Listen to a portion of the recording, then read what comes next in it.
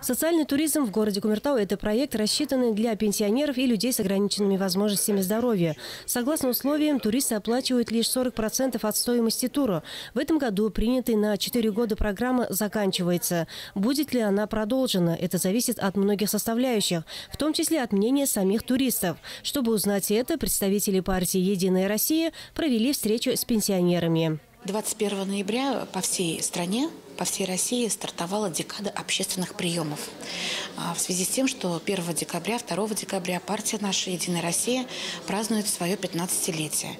И в рамках празднования 15-летия мы разработали большой план мероприятий, а, в который запланировали и работу депутатов общественных приемной партии «Единая Россия», и встречи с юристами, адвокатами, оказание единого дня бесплатной юридической помощи, и круглые столы, дискуссионные игры.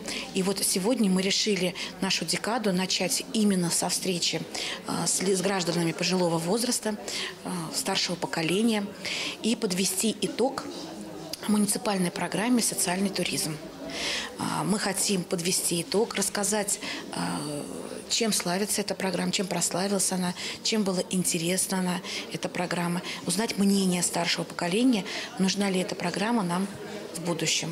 Проект был разработан еще в 2012 году благодаря поддержке главы администрации Бориса Беляева, а также депутатов Совета городского округа. Работа была продолжена и составлена долгосрочная программа на 2013-2016 годы. С начала реализации этот проект имел большой успех, отметила директор историко-краеведческого музея Фарида Юсупова. Все эти годы Фарида Кабулжановна, учитывая пожелания пенсионеров, подбирала туры и сопровождала их в поездках. На встрече еще раз посмотрели слайды с фотографиями, вспомнили интересные моменты. За пять лет пенсионеры посетили ряд культурных и исторических объектов нашей республики, России, а также ближнего зарубежья. Если суммировать сейчас за пять лет, то более 560 человек участвовали в этой программе. 14 поездок было. И из года в год все больше и больше желающих. Просто где-то, может быть, страх сидит в далекое путешествие отправляться. Но как только один раз себя переборет и съесть, становится уже стопроцентно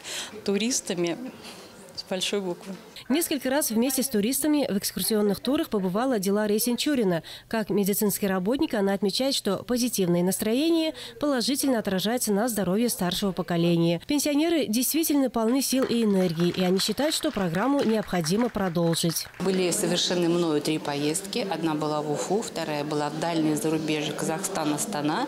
И вот э, совсем недавно мы вернулись из еще одной поездки уже по России. То есть мы побывали в Приволжском федеральном округе в столицах республик наших. Вот. Очень интересная поездка, очень все запомнилось надолго. Я бы ни в жизни никогда не поехала, если бы я не была на пенсии, если бы я не была участником вот этой программы. Поэтому программу надо обязательно продолжить. По этой программе была Павловском водохранилище, а, была в Самаре, в Тольятти и вот последний раз ездила по Среднему Поволжью. Мне эта программа очень нравится. Почему? Потому что я до этого нигде не была. Потому что, ну, я как многодетная мама, мне не удавалось. У меня ребенок инвалид был.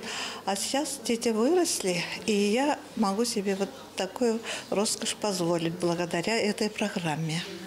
Нравится обязательно эту программу считаю, что нужно продолжить.